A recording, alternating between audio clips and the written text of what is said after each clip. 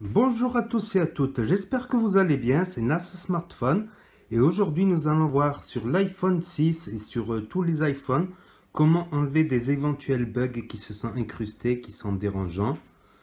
Donc euh, c'est une technique qui est gratuite, qui ne mange pas de pain, ça ne perd rien d'essayer, quand il y a un petit problème ça peut le résoudre. Parfois, ça peut ne pas le résoudre aussi. Il suffit de rester appuyé sur le bouton Power ici et le bouton Home ici pendant 9 secondes.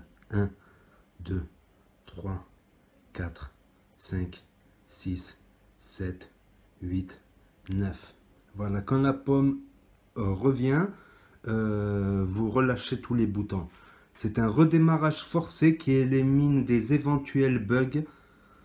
L'iPhone s'est rallumé et les éventuels bugs ben, se sont enlevés. Ça n'enlève pas forcément tous les bugs, ça enlève les bugs qui peuvent être enlevés par cette manipulation. Si vous avez aimé cette vidéo, n'hésitez pas à mettre un pouce bleu, des commentaires si vous avez des questions, si en commentaire. Et je vous dis à très bientôt pour de nouvelles vidéos.